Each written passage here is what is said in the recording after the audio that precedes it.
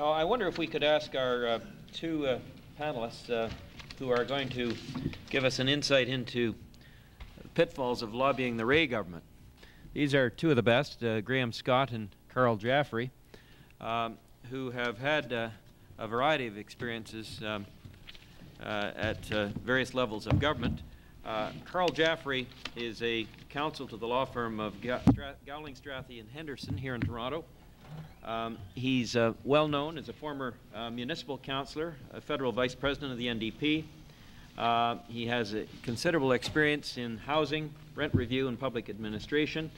Uh, he's prepared studies on rent control and housing policy for governments in Saskatchewan and British Columbia.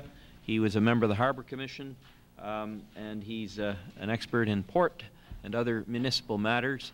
And uh, he will, I know, eschew this designation, but he is here as, as having some, some knowledge of what makes the NDP uh, tick and the NDP government at Queen's Park tick.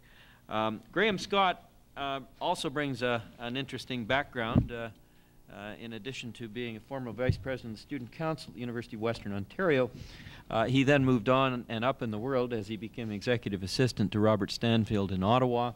And, uh, and uh, he then moved from there into the public service, a distinguished career in the public service of Ontario, the Ministry of the Attorney General, then Deputy Minister of the Environment. And he concluded uh, with a bang with that very non controversial, low spending, uh, low profile department, the Ministry of Health uh, where he finished his public service career in 1984, Graham, and uh, saw the light and finally went into private practice uh, with McMillan Binch, where he now serves. And I should say, Graham was recently appointed by the Prime Minister of Canada in a voluntary capacity to co chair a group to tackle the impossible task of reducing spend expenditure in government. And uh, he now holds that position in addition to his professional duties. Gentlemen, um, which one of you would like to go first? I, I noticed in Karl's remarks, he refers to me as something I will be saying, so I think Karl probably should go first. Karl, you're on. Um, just before getting on to the things I thought about saying, I wanted to do a footnote to David Smith's uh, remarks about what happens in Washington compared with what happens in uh, in Ontario. I was in Washington 10 days ago with a little group that was trying to learn how to lobby in Washington. They're a group that's interested in community information, and this was the first time they'd met in Washington. And they were going around talking to various people, all of whom were saying, well, what's your legislative agenda? And they didn't really know what it was. So people showed them what a legislative agenda should be. They got a little kit, for example, from the um, oh, American Association of Housing and Renewal Officials. And it has a band around it, and it says legislative agenda. And you open it up, and there's a brochure and it says there are five points. Uh, title such and so housing for nonprofit should have $928 million this year. And then title something else should have $829 million. And then a particular title of the uh, income revenue code for tax exemption should be continued. And, you know, they got five points and there they are. And um, after the little brochure, then there are five brochures, one about each point, saying why it's a good thing and all of the members of this association go around and see all their congressmen and all their senators. And if they don't see the senator or the congressman, there's a directory that looks like the yellow pages that has the pictures of each congressman and senator, says who all their staff are and what each staff responsibility is, so you know just who to go and talk to. And there it is. And then as David says, you, you try and build the coalition to do the thing you want.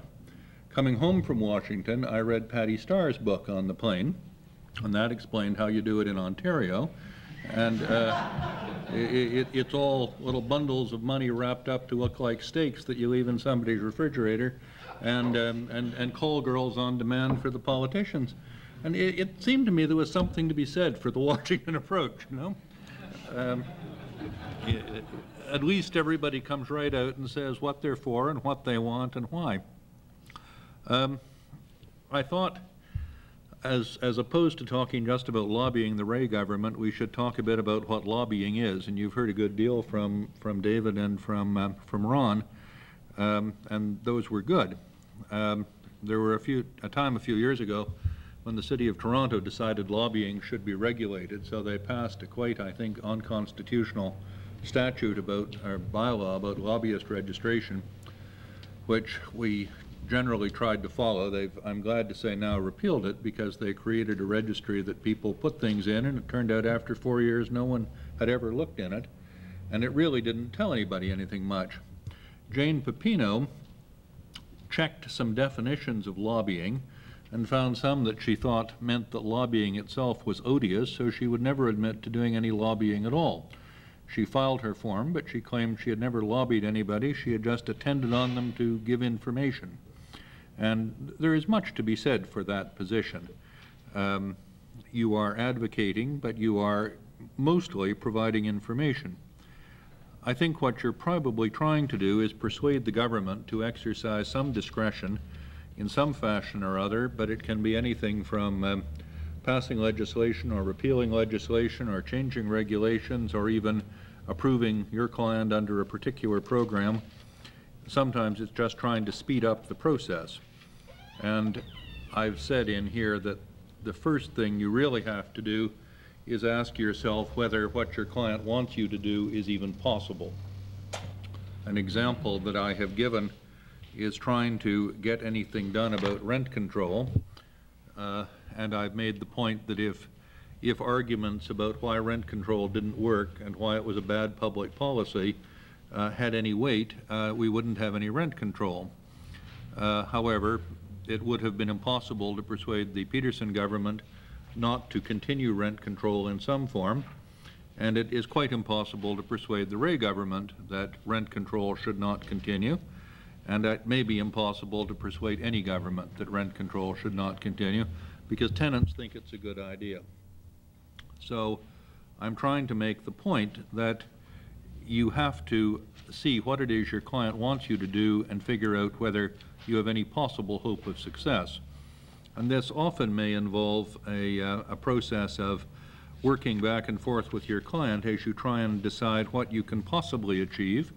Your client may want what you can possibly achieve more than what exists at the moment. And if that's all right, you can take it on.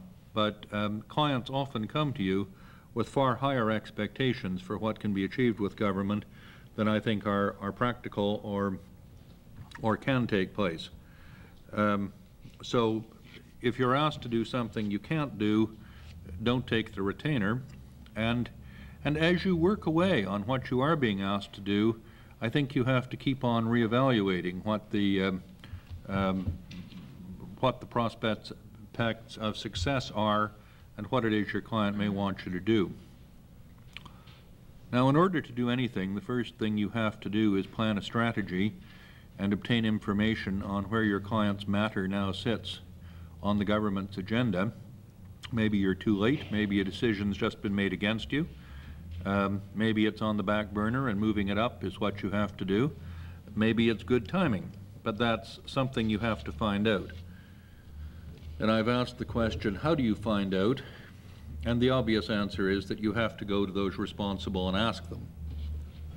If you were the, the absolute ideal lobbyist that doesn't exist, you would know on a first name basis everybody in the government phone book. You know what they did. You'd call them up and you'd ask them. Nobody except perhaps my fellow panelists knows people that well.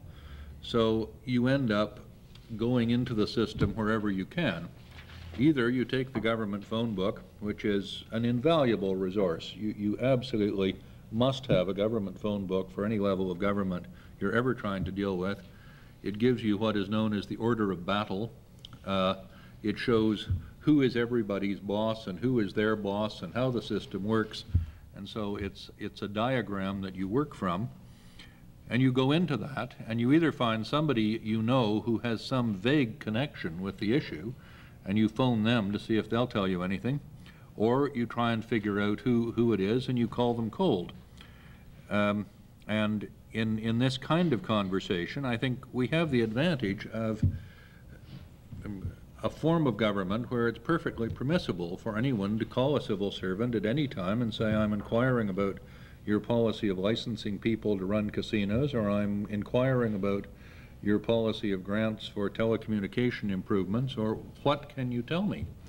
And you you will usually begin to be told quite a lot of information. There may be policy statements you can have it'll take you some time to home in and, and be up to speed on your client's matter, but asking questions is what you do, and you ask those of either people you know or people who you think are involved. I've said that I think a major drawback of people practicing law uh, doing this kind of work is that we are sometimes threatening to civil servants, or we are viewed as being threatening. And when we introduce ourselves as lawyers, that can strike fear into a civil servant's heart. They may think they're going to get sued for something, or someone's criticizing them, or something like that. None of that helps. You want to approach these things as a humble seeker after information. Um, in that connection, it is my experience that friendly, non-threatening people who can make friends over the phone are often most successful at lobbying. Governments have taken formal steps to avoid gender-biased discrimination for decades. The result is that government service has been an attractive career path for able women for some time, and many of the civil servants you will deal with will therefore be professional women. I find that women are often much better than I am at establishing a positive, pleasant relationship with the civil servants having carriage of my client's matter. I should say at this point as well that I think there is much to be said for a team, a team of lawyers, a team of people in your own office doing any of this work. Um, this is work that will require quite an investment of time. Time on the telephone, time talking back and forth to a variety of people. Um, those of us who do litigation may be used to the system of throwing everything into the other guy's court and then knowing that until he hits the ball back, you don't have to do anything. Send off all your letters and wait for replies. Fine. Doesn't work in this kind of work. You, you are wanting to phone to say, I'm writing you a letter, and then you're going to say, and you're going to explain what the letter says, and then you're going to send the letter, and then you're going to phone to say, did you get the letter? And then you're going to phone to say, could we have a meeting to discuss how you might respond to the letter? You are going to be um, uh, what I call schmoozing quite a lot. I gather some people think schmoozing is just talk that isn't going anywhere. You're going somewhere, but you're often having to go somewhere quite slowly and quite carefully, and it will be time consuming. And if you're off trying to appear before the Racing Commission or do a three, three-week OMB hearing at the same time, it often isn't done best by running out at the morning coffee break and trying to phone four people. It, it may be very important to have two people at least, and maybe more than that, in your office who are all on top of this thing that you're trying to do and can, can keep the phone calls coming and keep the, um, keep the agenda in shape. The, uh, one of the things that makes work for lobbyists is the fact that governments are large, Many issues impact on more than one ministry, or at least on different divisions of the same ministry, and politicians and their political staffs are often interested in the outcome as well. I've had considerable success in obtaining allocations of funding for a nonprofit housing group where the role of the lobbyist was one of constantly checking back and forth among the staff of the Ministry of Housing, the Ministry of Community and Social Services, the Ministry of the Environment, and the political staffs of both a cabinet minister and a backbench member. These were all people who had something to do with the decision, and the person who had to actually make the decision uh, felt constrained because he or she was not getting input from these other people who were known to be interested, but were not saying, yes, we've signed off, it's okay. And so negotiating back and forth with those people is, is sometimes very important. Um, I gave the example of a person holding up an approval because they can't get an assurance from another ministry that some funding will be available for a program in the future or that there will never be a fire hazard in a particular building design or something like that. Of course, they can never have any of those absolute assurances, so what you end up with is a bit of negotiation. Well, um, maybe we won't know that there will be funding in the future for that program, but do we know that the ministry at least hopes to be able to expand that program? And would that be enough if they told you that? Um, fire, well, all right, there is an industrial building within 50 meters, but um, if, if we totally protect with sprinklers and we, uh, minimize windows on one side of our building, would that be enough? It's that kind of thing that you're going through quite a lot. The fact that it is taking a lot of time, by the way, means that um, you're going to have to be paid well. You will have trouble if you negotiate upset fees. You will be keep taking, keeping track of a lot of time. And um, I think one of the problems of lobbying is that it's something that only wealthy clients can afford. One of my favorite bills that I think I ever sent out was to professional services um, for arranging for the Citizenship Act of Canada to be amended so as to qualify you for citizenship, my fee $29.75. The bill obviously was something of a joke. The client was a secretary of mine who told me about her problem. I met the minister socially a little while later. He said, We're on the point of changing that. That's awful, but may I use your client's, your, your secretary's example when describing it to a Commons committee as to how unfair this is. And I said, sure. So the whole thing had a time um, commitment from my point of view of all of 20 minutes. And I sent the bill out for a joke. But people who need the Citizenship Act changed simply can't afford to hire a lobbyist to do it. And we do um, have the problem of people, of creating a system where only um, uh, only well-financed clients really can take advantage of it.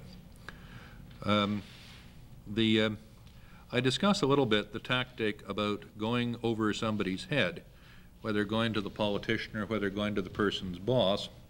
I quite agree with David Smith that you start with the person who's supposed to be doing it, and you go over their head only with reluctance. And you go over their head only when you can tell them that it's important to the client and the client requires you to go over their head. And I have said here that for, you never go over their head unless uh, one of two things happens, but one of the two things cover all possibilities, so it's okay. Um, one of the things is where the civil servant has a discretion to exercise and you think they're exercising it or may exercise it incorrectly, and you may ask to discuss that with their, their supervisor. The other is where there is some policy that prevents them from doing what you want, in which case you go over their head to try and discuss changing the policy. But I quite agree that before you do that, you tell them that's what you're going to do. You even may ask them to be at the meeting with the superior. You, you, you don't burn bridges behind you. I've said that as you listen to all this, you may ask yourself when the real lobbying takes place. When does one go and talk to the politicians or call in old markers, do all the things that lobbyists are accused of? Uh, some of our colleagues spend a good deal of their time raising campaign funds for politicians. I personally believe that those who do this have easier access to politicians. Politicians can't refuse to talk to their finance chair. Those are relationships that I think are perceived by the public as being distasteful. Um, my view is that you, you never go to anyone asking for favors. Uh, you, you go asking them to help you, you go asking for the opportunity to help them make sound decisions in the public interest. When you go to poli politicians, I'm not quite with David Smith on that. Um, I think I may be closer to Ron Atkey. If you're cause is dear to the heart of a politician or can be made dear to the heart of a politician, if the politics are on your side, then I think telling the politicians about it is an important thing to do. Uh, I think, however, you tell the staff that you're going to do that, that your client wants to talk to the minister, that it seems to be something the minister would like, so you let them know that beforehand. And what that sometimes results in, of course, is the minister or the minister's staff asking a question um, or asking for a report from someone in the, in the ministry. And the person in the ministry first will be glad to know where that came from, will be glad to know it's coming, will be glad to be in a position to respond quickly and, and, and helpfully. And I think all things considered, if the, uh, the ministry staff is wondering what its policy should be, and noises begin coming down from the minister's office saying that the minister would be delighted if the policy went in this direction, that doesn't hurt you. So I like to talk or have my client talk. I again agree with David Smith, the client's the best person to do it. And if the client can, the client should do the talking with the ministry, with the minister. But you do that when, when you have the politics on your side. Um, David also talked a little about talking to political staff as opposed to talking to staff in the ministry. And there is one of the distinctions, I think, between the current Rae government uh, and the governments that I've seen in, in Queen's Park before. Um, at least in some ministries, the Rae government hired political staff who knew something about the subject, which tended not to be the case, uh, certainly in my experience with earlier governments. Political staff usually was there with earlier governments to hold the minister's coat, help the minister do her speech or his speech, um, certainly be quite aware of the minister's political agenda, but not necessarily know anything about the subject matter. Um, the NDP and a number of minister, new ministers in a number of ministries went out and hired quite capable people who then got into fairly vigorous conflicts between their views and those of the um, established civil servants in that ministry, and, uh, and had to be taken much more seriously as, as policy development people by the ministry than had been the case in the past.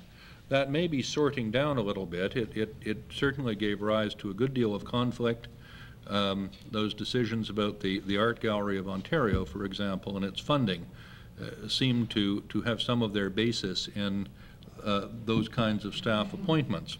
And um, it does mean that if, if, if you go to ministry staff, you, you may, with this government, find, find people who are prepared to take on the bureaucracy in a, a way that has not normally been my experience. I think you should do it as a last resort. I think you, you want to deal with the, uh, the ministry staff if you're getting what you want from them. In any event, I, I concluded that if what you want is fair, just, wise, and beautiful, but it doesn't fit the political agenda of the government, then you would be best not try, trying not to include politicians in what you're doing, and indeed try and get what you're doing through without anybody noticing it a great deal. Um, the uh, I know Graham's going to make the point about uh, trying to figure out what the political agenda of the government is, um, and their biases will be extremely important. Um, I've said one thing I think is different about the NDP government and others is that they probably believe in their political agenda with a, a, a, religious fervor that is probably not found in most governments. So there are going to be some things with this government that are just taken as read no matter what. Um, they know the rich have too much, too much money. They know rent control and more public housing are good things, regardless of vacancy rates and anything else. They know that collective agreement should not be abrogated by governments and, and so on. Um, so you have to try and get a sense of these, either from, either from the newspaper or from the people you talk to on a day-to-day -day basis, and you have to work around them. Or you have to realize that some of them may be believed so strongly that you can't change their minds about them. And I think that's something where the, uh, the NDP and uh, certainly the Liberals, and in my experience, the Conservatives, tend to be far more pragmatic about those basic tenets of belief. Now, I don't know, with the last six months of the NDP finding out about deficits and finding out about collective agreements, uh, who knows where they may be now moving. I, I'm, I'm not about to predict. I would have thought they might simply go on holding to their other beliefs even more strongly. Um, the um, I think that probably I should I should wrap up. I've gone on longer than I, I was intended to.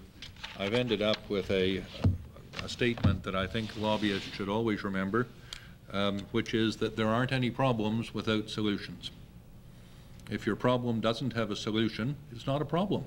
It's a fact. And the only way you can deal with facts is to face them.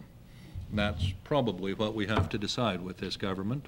What is a problem and what is a fact, and then live with it. Thank you.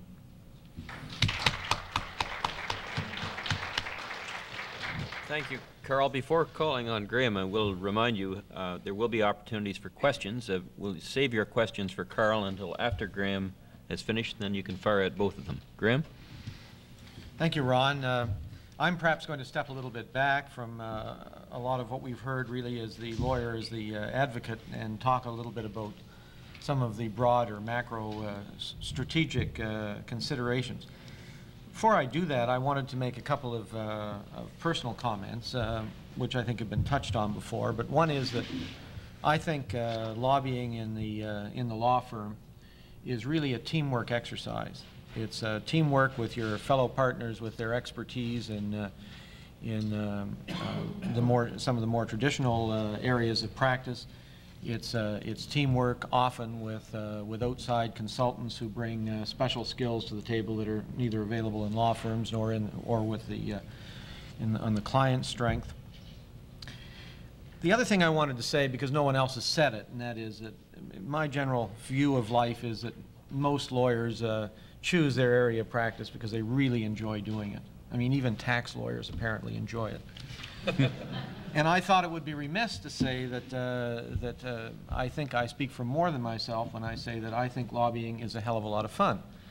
And uh, the reason I think I can say that with, uh, with some confidence is that uh, on the platform and, uh, and in the room, I see people that on various issues, uh, I've worked with them and, uh, or against them, and uh, it's been uh, both challenging, uh, exciting, but, uh, but above all, above all, fun to do it as, as most good briefs, most good briefs are.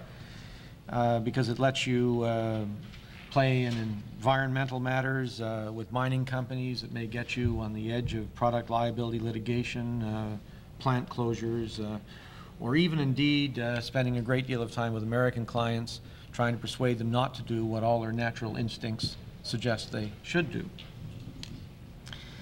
Um, Turning to, uh, to sort of a broad uh, perspective, I guess the first thing I think that you need to try and develop as best you can um, is what I would call that bilingual capacity. All good lobbyists have to be bilingual. That is, they have to speak private sector and they have to speak public sector and they have to speak it rather fluently. Um, This is something that uh, one ought not ever to misunderstand. And yet, it is, I suppose, the most common problem that I think ari- arises in relationships. Um, Governments march to a different drummer uh, uh, than a private sector business, for example. They use a different language, they have different reporting relationships, and generally, they have far more complex relationships that they have to deal with. And if you misinterpret some of the things they say or do, which is very natural to them, then you have a problem. You also have a problem, of course, if uh, they, in trying to deal with your language, interpret in their own and uh, reach some difficulty. So you have to be constantly aware of, uh, of those, that there are two languages at work uh, when you're dealing in a, uh, in a, in a lobbying relationship. As you'll see from my notes, and I'm not going to go through them, but just to deal with some of the headings, uh, homework is essential. Well, I mean, what could be, uh, what could be more obvious than that? But, uh, you know, I've seen too many people uh, mount their high horse when they sit down with a public servant and remind them about the amount of taxes they pay, how important they are, and uh, that if the government was run like they were run, they wouldn't be having this problem and have to go through the ridiculous necessity of this meeting. Um, I can assure you that it'll take a pack of lobbyists to undo the kind of damage that uh, that, that kind of opening can create. And yet, uh, that is a, uh, a somewhat natural reaction of someone, of a client who sees a problem in black and white when governments are trained uh, in order to survive of seeing grays rather than, uh, rather than blacks or whites. So you've got to do your homework well. The government deserves, uh, deserves no less.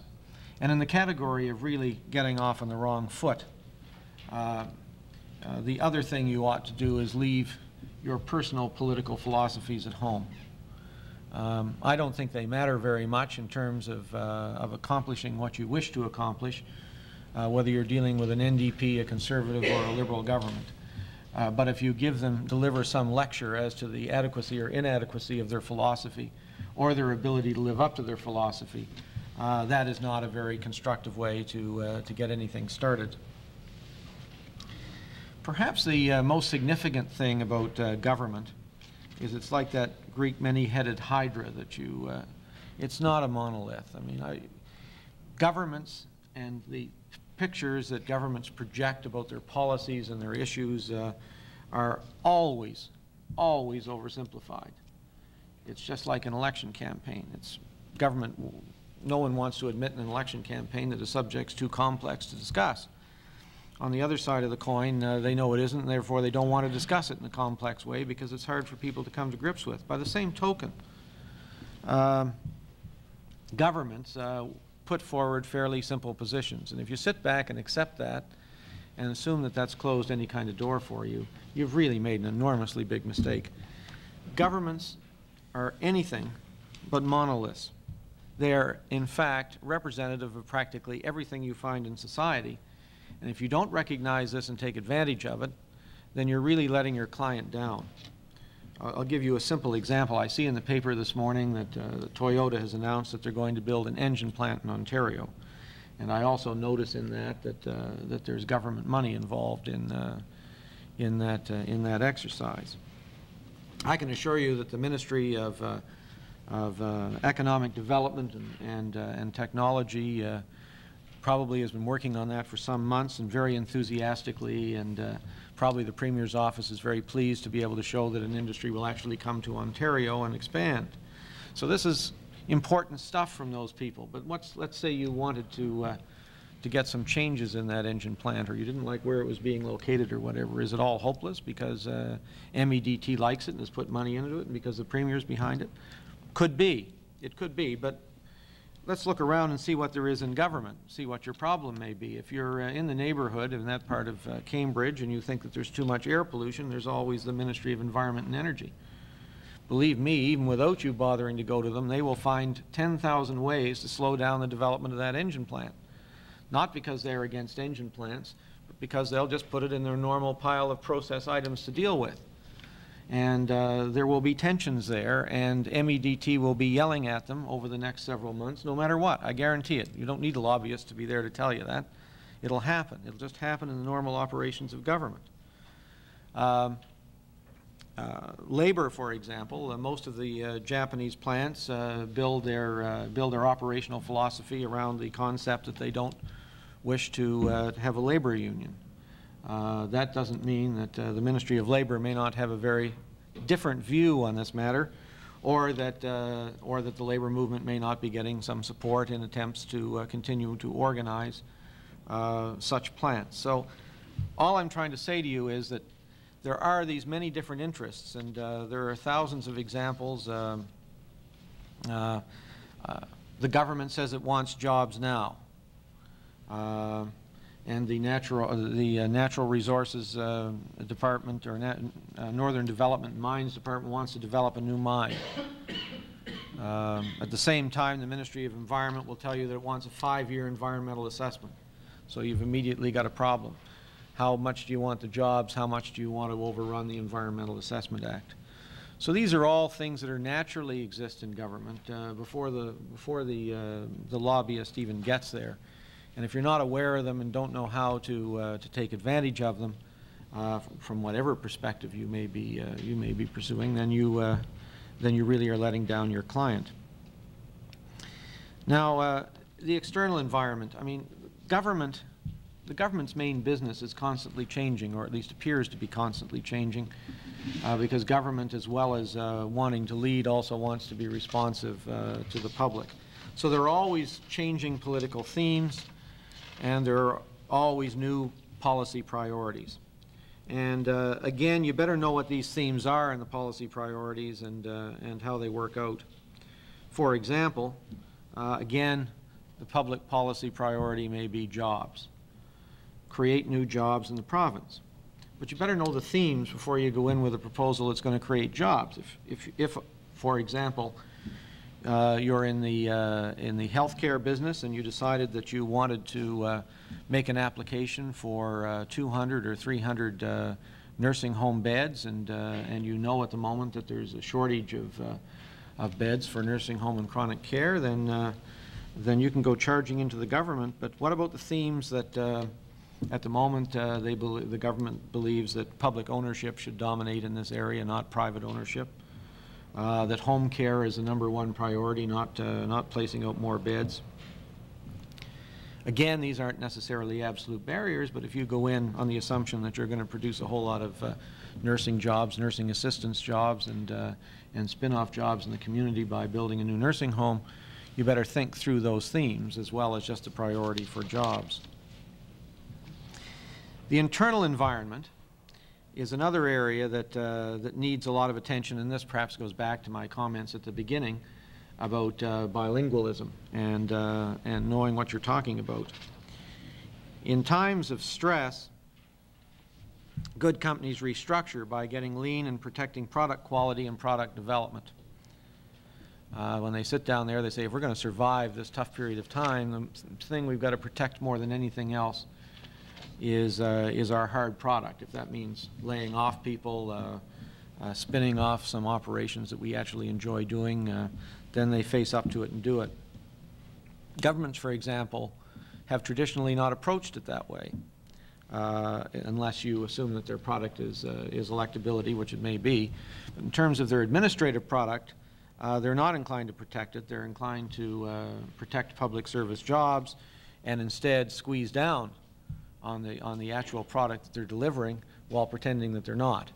So that's why uh, um, they tell you that the highways budget uh, increases regularly each year, and it does by a, a few hundred thousand dollars, but somehow the highways seem to be crumbling underneath your car. So um, bear in mind that you've got to understand some of the peculiarities of their internal environment uh, uh, when you're going along. You've got to know some of those internal priorities. Now, at any given time, there's two or three ministries that are the favorites of the government. They're getting more protection from cuts. Uh, they've got certain legislative priorities. And you should always keep your eye on, uh, on what departments they are and what potential they have uh, for the kind of, uh, the kind of uh, uh, product that you're, you're dealing with, the kind of policy change that you want to get, or the, or the kind of policy change you're, you're seeking.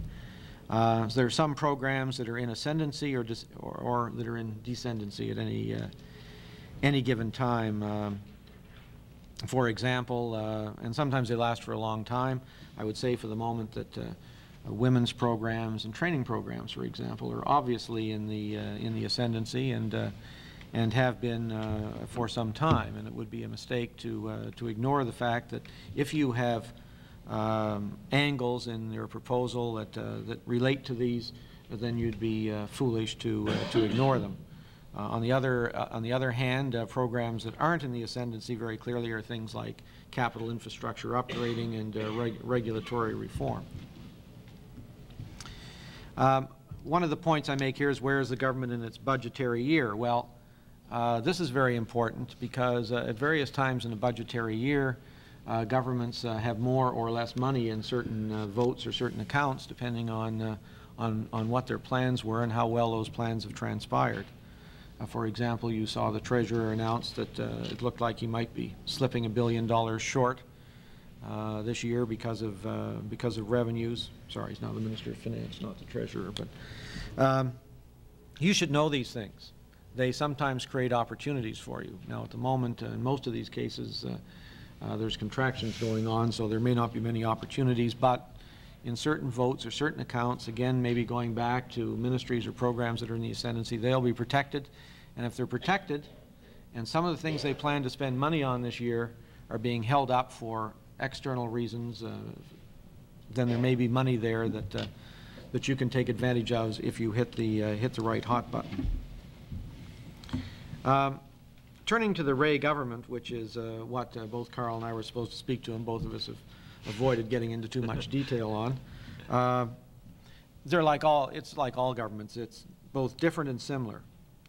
Uh, I don't think one ought to worry too much about, uh, about how governments uh, change politically, except as long as you keep in touch with those broad external and environmental concerns that I talked about.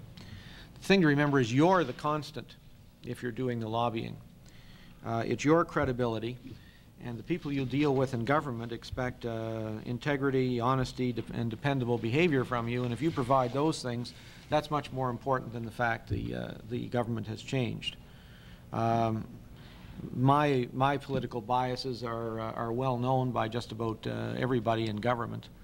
Uh, I've never found that to, to be a problem, and I've dealt with, with all three major parties in government, and uh, I think that the main thing is that they know that I'm not going to embarrass them. They know that I'm not going to use my political bias uh, as a weapon in my work.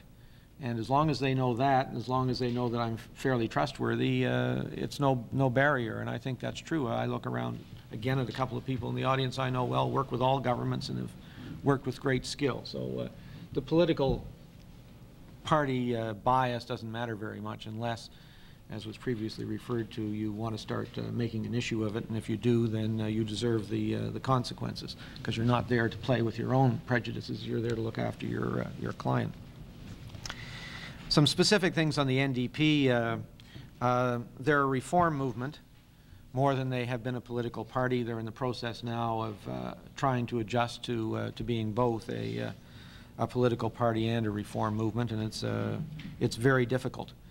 Um, uh, The party uh, formed over the years, I would argue, uh, uh, as much in reaction to uh, their sense of lack of progress or lack of real reform that they found in the traditional conservative and liberal parties. Um, And uh, while that's a very effective uh, political weapon and eventually uh, brought them to government, it doesn't deal with all the trade-offs that tend to flatten out governments from their, uh, from their political uh, rhetoric. So it's been a, it's been a very difficult adjustment for this government. I suspect it would have been difficult anyway, but if you add to it uh, the misery of the uh, deficit that they inherited and the, uh, and the recession, all piled on top of it, I think you would have to say that, that this government has, has special problems to deal with. Uh, So if you look at the uh, external environment uh, facing them, there are a number of political themes that I refer to in my paper, and they're not meant to be uh, um, uh, complete because that would take too much, but you've got to know about these themes. You've got to keep them in the back of your mind. They haven't changed simply because we have a social contract or because the, the government is hard-pressed for money. Uh, But the, how you may use them has certainly uh, changed as a result. Um, A Couple of, uh, of specific things. I mean, it's quite obvious. This, this government has to rebuild its political base uh, between now and, uh, and election, and the election time, and that's going to be extremely difficult. They don't, don't have the money to do the traditional Canadian thing, uh, which we're witnessing for the first time in a federal election. There's no money to buy anything with. Uh, The same problem is going to, uh, to exist. So they'll be looking for innovative ideas. So if you have clients with, uh, with innovative plans uh, that can fit some of these things, you may get on the agenda. But the agenda is going to be harder and harder to, uh, to get onto. Um, A couple of things. This is a, a- government, and, and I think Karl alluded to it, where, uh, where there's a lot of power in the hands of, uh, of the political staff, of ministers. And as a consequence, uh, it's good to keep them advised of, uh, of what's going on, uh, and on top of things, not only for the usual reason of not wanting to uh, surprise the minister further down the line, uh, but because they're going to become involved in it sooner or later, and uh, because of their relative importance within the system, they're aware of their relative importance within the system, so you have to be able to, uh, to accommodate that. One, one uh, last specific comment, and that is that the government has a somewhat different approach to negotiation than, uh, than I've encountered before uh, with previous governments. It's a little bit more akin to the kind of bargaining you find in the uh, collective bargaining between uh, management and labor, and perhaps that's some reflection of the, uh, of the background of some of the ministers. Uh, I don't think that that should give you too much concern, the fact that you may sort of run into a, a hard line when you first encounter it. Um, By the same token, uh, as is true in those types of negotiations, they al- al- also expect to give a fair amount of ground before the end, um, unless, of course, you have touched, as Karl referred to one of the uh, religious aspects of, uh, of the, of the policy. So don't be put off by uh, what seems like an impossible bargaining position at the beginning. Um, uh, Just get on with it. One thing, though, that I think is important to, uh, to make a distinction with in this government, and that is the difference between uh, the so-called religious issues and, uh, and the others. Uh, At a certain point in time, if you think you're on the former issue, you're going to have to decide uh, whether you want to um, work on the edges and try and get some modifications that will uh, ease the pain of the impending policy, legislation, or regulation, or you can decide to hit the bricks and take them on head-on. Uh, But chances of, uh, of success, I would argue, on on hitting the bricks, uh, have to be weighed pretty carefully, because if the, uh, if the religious aspect is set in, uh, then you're dead meat. I, I remember a, a a client who said to me in relation to the, uh, the labor legislation that was passed in, in, in June 1990, this was about March or April, Ron, uh, referring to the, uh, to the insurance success um, uh, that we're going to be looking at in the next session, saying, uh, you know, what we did was we, uh, we brought enormous pressure to bear from all angles. It was a hell of a campaign. And when they felt the heat, they retreated. We're going to do the same thing on labor. Uh, That's another great pitfall. Uh, uh, That is the kind of most dangerous assumption you can make of any party uh, or any in, in government, and that is because one thing succeeded, the other will. An automatic reaction of government that has had to retreat in embarrassment from one issue is that they might rather fight to the death on the next issue than convince everyone out there that they're going to give in on every issue. And uh, indeed, the labor matter did wind up very differently from the insurance matter, and uh, whether we should perhaps someday, if we had the time, Ron, compare the, uh, the labor uh, uh, um, uh, with the insurance and, uh, and draw, draw some distinctions. I think that would make a hell of an interesting program. uh, One one is religion and one is not. That's right. Well, insurance used to be religion. So there's two years left in the mandate. The government's got to uh, get the economy back to health while at the same time rebuilding its political base. An absolutely enormous challenge. So while there will be eagerness for new and attractive ideas uh, and reforms, the competition for attention is going to be considerable. So finally, going back to my opening comment, I think you'd best do your homework, know those environments, and uh, use them to develop the strategy uh, before you uh, begin to take your problem to the government. Thank you, Graham. We'll take a, just a few minutes for questions before a coffee break, and if I may exercise the chair's prerogative to lob the first question. Uh, It's been suggested in the media that this government, um, more than any others in the province of Ontario, has become politicized at the top of the public service. Uh, From a principal secretary of the Premier's office, a known partisan, very capable partisan, has gone to be clerk of the Legislative Council. Uh, Suggestions that at the deputy and director levels, uh, partisans have been put in place. The traditional public service has been shunted aside. There's only, I think, four of the original deputy ministers who were there when the government uh, uh, took, took office, and that it's become a highly politicized public service. How does that affect the lobbying function as you see it? Graham and I talked about that a little bit at lunch. At least we talked about the principal secretary being a politicized appointment, and that seemed to us to um, create a situation where it is harder for the Premier's office to get what he wants out of the, um, the various ministries than it was otherwise. Um, The Premier appoints the deputies, of course, and that has a politicizing effect, but it would be David Agnew's normal job to tell deputies what it was that the Premier wanted that ministry to do and tell them to get on with it. The one thing that's totally clear, I suppose, is that if the Rae government leaves, so will David Agnew. So you don't have the sense that there is a professional civil service that's there and that there's a, a team that should keep working. Now, I said I thought that could mean that um, a deputy would say, well, all right, I'll go through the motions because you're asking me to, Mr. Agnew, but um, you're going to be dead meat before too long, and it doesn't matter whether I succeed or not.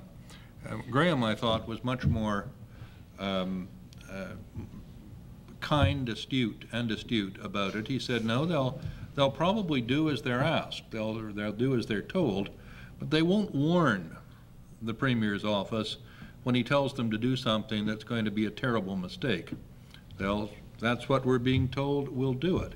Well, the relationship one expects to see is one of collegiality, and a program may be suggested by the Premier's office, but if there are going to be terrible things coming from it, you would expect more feedback than you may get in this situation. Uh, I think that that um, is um, a serious problem, and, and I have I can't throw out examples at you uh, of how it has been a problem for the government, but I think it is bound to be an increasing problem for the government. It, it may be that it all happened because the government felt it wasn't having its agenda carried out and it had to uh, politicize if it was going to have its agenda take place. But I, I think they may reap the whirlwind on it. Yeah, I, I just wanted to clarify one part, Karl. I mean, wh- when I said that uh, they wouldn't uh, necessarily give uh, uh, uh, frank advice, was really what I was getting at. Not that they would deliberately let the Premier or the clerk go down the garden path, but if, if you're concerned that your message will not be well received, and your message may be seen as um, as an attempt to, uh, to block or to uh, pursue a philosophy different from the government's, then you're wise to shut up and, uh, in terms of survival. And uh, that's, that's the atmosphere, that, the risk that's taken by having um, someone who's highly politicized in the clerk's position, because it's a key area uh, for government management that there be a frank flow of, uh, of information. And that frank flow of information from, on the political side as well as on the administrative side is that uh, at various times, if a minister is about to make a serious mistake, uh, because a deputy is a premier's appointment, it's not, it's not inappropriate for the deputy to pass the word on to the premier so the premier can determine whether the minister will make a mistake and therefore stop it before it's made. Uh, if a deputy feels that, uh, that he is going to uh, get in grave personal difficulty for, uh, for calling the clerk or the, uh, or the secretary of the cabinet and making this known, then, uh, then he or she simply isn't going to do it. And uh, I think that's a problem that's in the system. But I said earlier that I have very strong feelings on the public service and how it ought to be organized, but I told you earlier that strong feelings in such matters uh, uh, personal feelings didn't have much to do with the actual day-to-day operation of the job. Um, I've discussed this matter with the with the with the uh, Secretary of the Cabinet, as I'm sure Karl has. I have to say, in operational terms, uh, I don't see much difference, Ron. In fact, uh, on a couple of occasions, I guess because they. Uh, the Secretary of the Cabinet saw a political downside much quicker, maybe than than, uh, than someone else may have seen it. I've actually got, gotten quite good, uh, good service uh, um, uh, from the clerk. So in terms of external, I haven't had much of a problem, but there's, there's no question that if you look at it from a, from a uh, public administration, public philosophy position, there are a lot of problems with it. We have time for a question at the back. fact, uh, um, and suddenly the, uh, the minister, uh, the minister gets shuffled. And consequently, you have a new minister and, uh, and staff who aren't necessarily uh, at all aware of uh, your position. Is that correct? And, I would say the same thing can apply to, to a deputy minister as well, actually. Um, the first thing you have to do is tell the client that you've got a little bit more work to do than you expected. Um, Now, if you follow, if if it's a normal kind of matter and you've followed the process properly, uh, that is that you've talked to the, uh, the key public servants and um, uh, then you should at least have a body of knowledge that's, that's ready. And if they're particularly positive about what you want to do, uh, then you might want to remind them uh, that perhaps this is something they should put high in the priorities for the, for the new minister's briefings, so that you can get it uh, dealt with quickly, and then if there are any problems, they'll let you know, and you can then therefore more effectively uh, uh, address any concerns the minister might have and not lose too much time. But you're going to lose time for sure. Now, if it's a kind of issue that uh, the department didn't like particularly, but the minister did, then you've got a bigger problem. And there, but in those circumstances, usually it will mean that you've also had good contact with the minister's office and uh, the previous minister's office and the, uh, and the previous staff. And if you've done that, um, you may ask them to make sure that there's a, uh, a special briefing uh, taking place in the change of the ministers. And uh, because if it's something that the outgoing minister is very keen about, uh, that outgoing minister may, uh, may wish to tell the incoming minister to, uh, to take it very seriously in terms of preserving their relationship in cabinet if the minister, for example, feels strongly about it. So th- th- those are some thoughts, but, but you will lose time, absolutely. There's, there's no way to keep the momentum up when something like that happens, usually. With this government, uh, some of the political staff often stay in place when the ministers move, and that can be a help to you.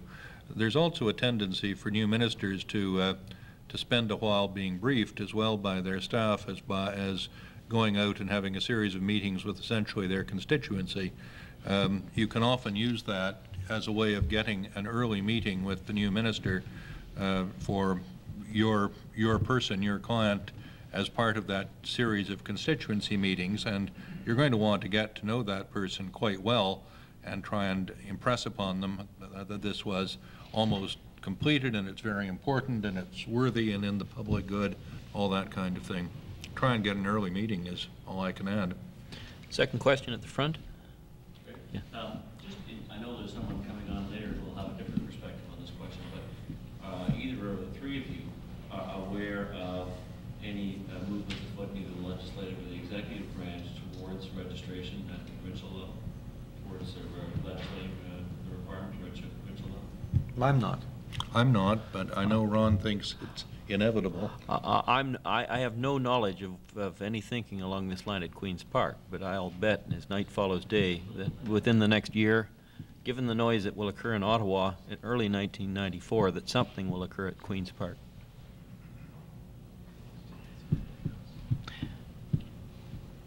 Well, Are there any, yes? Panel commenting on communications with the ministry staff and political aid to the minister. I was wondering whether you had any comments on communications with uh, other political parties. Uh, and Specifically, I'm thinking of when something's going to go to a standing committee, government committee. Uh, Some of us will submit written briefs to uh, the committee, but I think there's also temporary work that needs to be made. Do you think that's useful in a slowing up form?